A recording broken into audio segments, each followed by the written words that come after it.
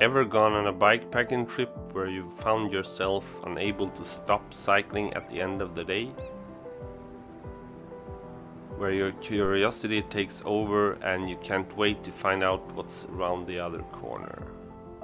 Where the summer nights are endless and the midnight sun helps you to guide your way forward? If you haven't experienced this, you need to book a trip to Arctic Norway. A normal day on a bikepacking trip for me starts with making up some kind of a general plan for the day. What I want to stop and experience along the road and how far I want to go until I call it a day. Luckily here in Norway, where camping options are almost endless, I rarely have to decide where I want to pitch my tent at the end of the day in the morning, and rather make it up as I go.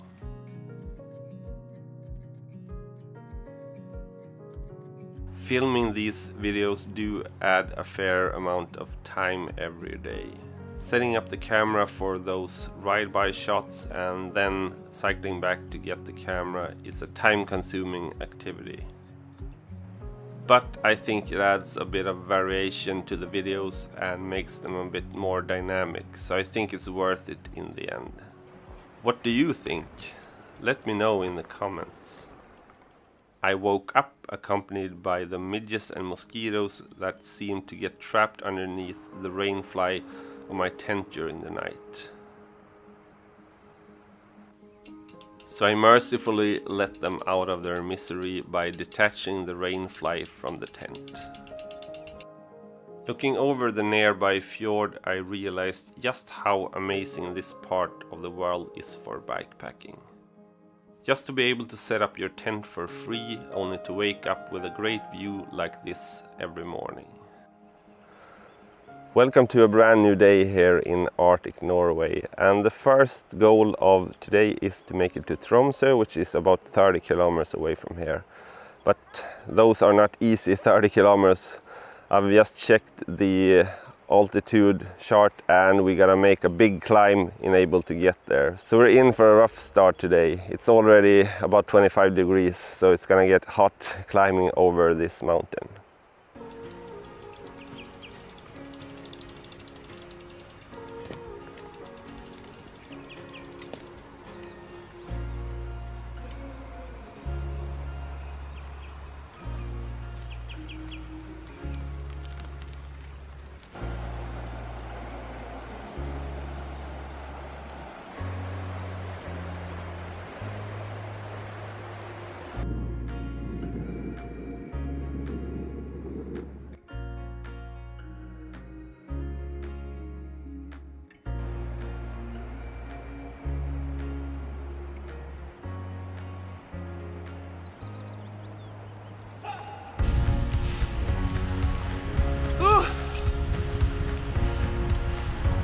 This hill end?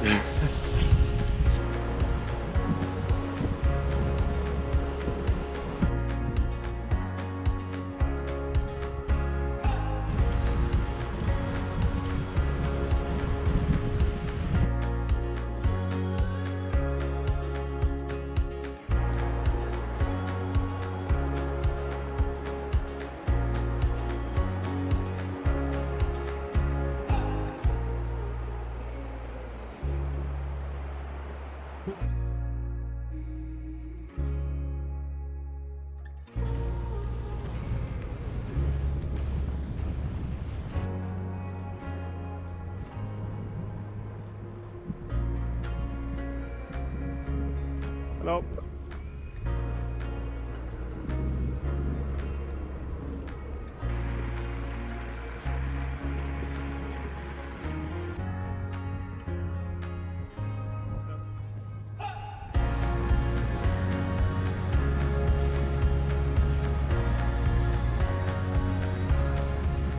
took me about two and a half hours to get over the mountain pass and reach Tromsø. The trip between Lofoten Islands and Tromsø is a very popular bike tour since it's fairly flat and most people can make it within a week's time.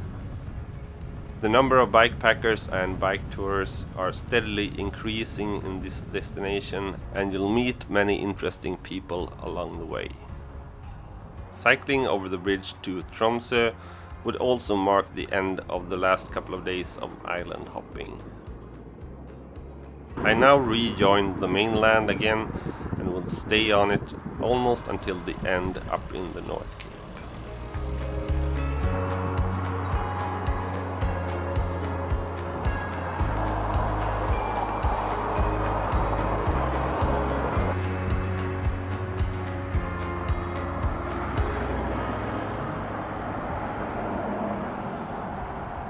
Just barely made it to the suburbs of Tromsø and I made a stop here at a general store to buy a travel kit with a sleeping mask and some earplugs. So hopefully my sleep will improve now further on. Tromsø is located about 350 kilometers north of the Arctic Circle. It's considered the northernmost city in the world and would act as the halfway point of my trip toward the North Cape. When I'm on a bike tour, I try to look for things to experience where I don't have to leave my bike unattended for a long period of time. And entering Tromsø, I found a place like that right away. The Arctic Alpine Botanical Garden. With free admission plus the possibility to bring along your bike inside of the park, this attraction seemed too good to be true. And I spent a lovely time walking around and observing the Arctic flowers and plants.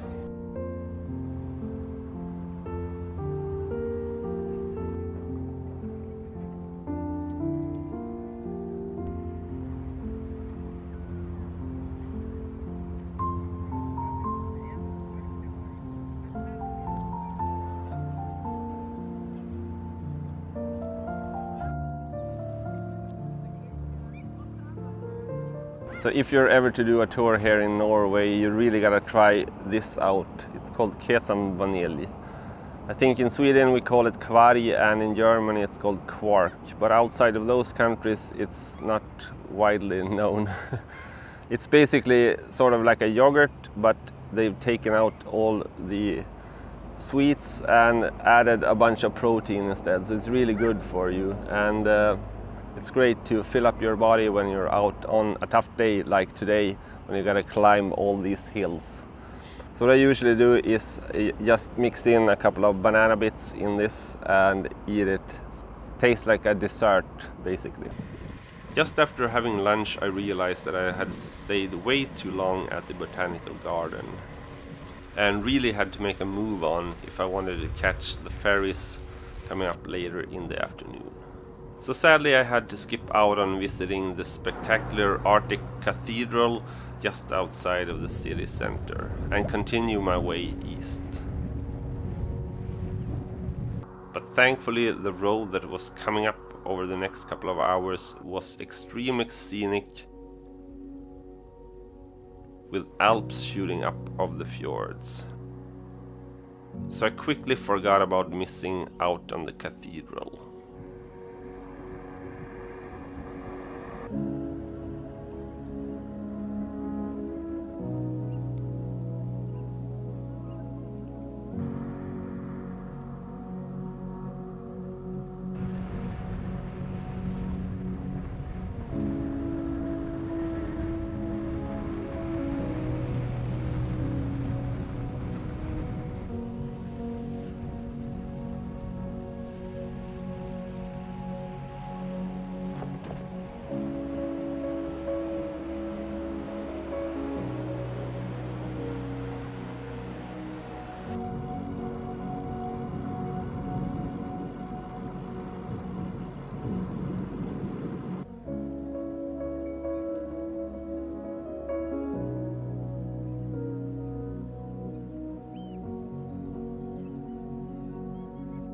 I eventually made it onto the first ferry that would take me over the narrow fjord in about 20 minutes time.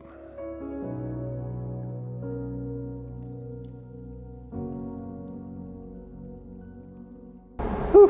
So I barely made it onto this ferry with just a couple of minutes to spare. And there are more ferries going later this evening, but the reason why I wanted to catch this one is because there's even another ferry in 22 kilometers, and of course, they time everything after the cars.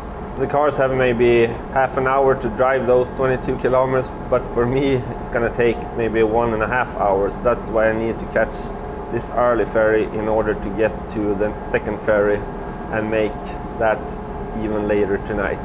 So this day is basically one of those days where you just have to make deadlines all the time and catch ferries. But now I should have about two hours before the next one goes, so 22 kilometers in two hours should be doable.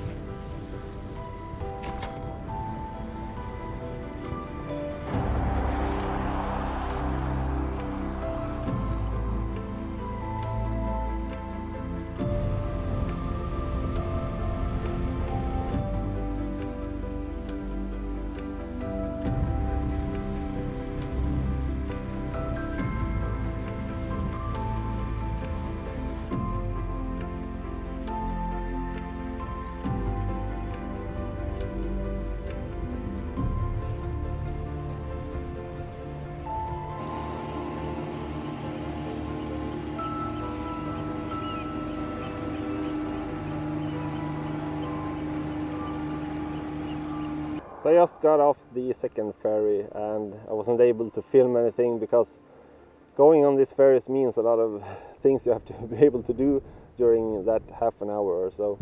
So I charged my electronics, I took a shave in the bathroom and talked to some other bike tourists that were on the same ferry. I'm already 115 kilometers into this day, but I think I'm gonna continue on in an hour more so because I have this fantastic tailwind. It's kind of hard to put up a tent here, both due to the wind and it's very sloping downward. So I'm looking for a flatter place where it's a bit more sheltered up against the road here. So I'm gonna carry on for a while.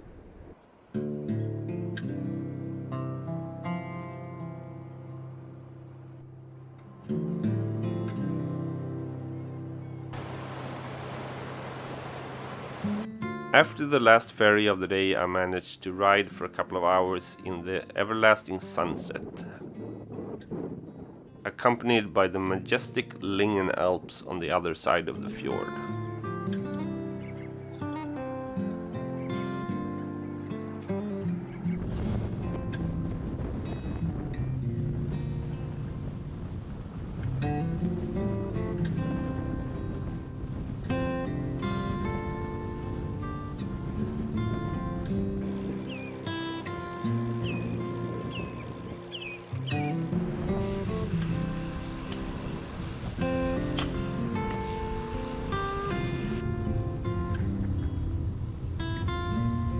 Sometimes felt like I needed to pinch myself that I was actually cycling here experiencing all this beauty. And I never seemed to want to stop for the evening.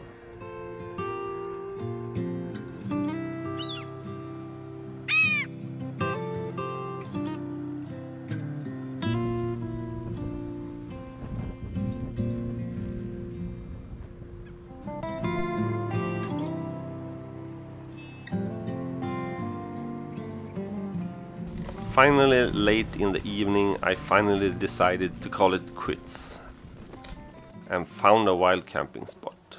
Perhaps not as stunning as the previous ones, but it would be enough for me for this night.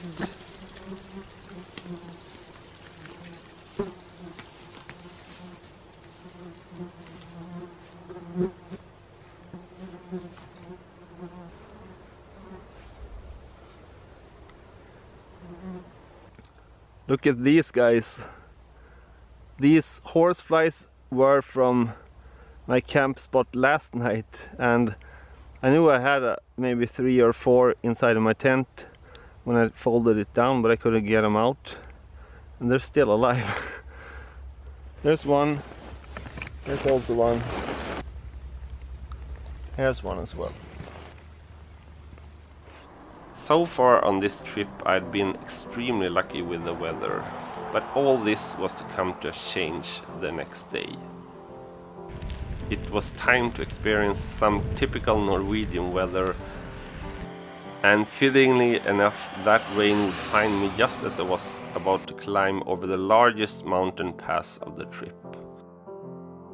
Find out all about how that unfolds in the next installment in this series. Until then, have a good one.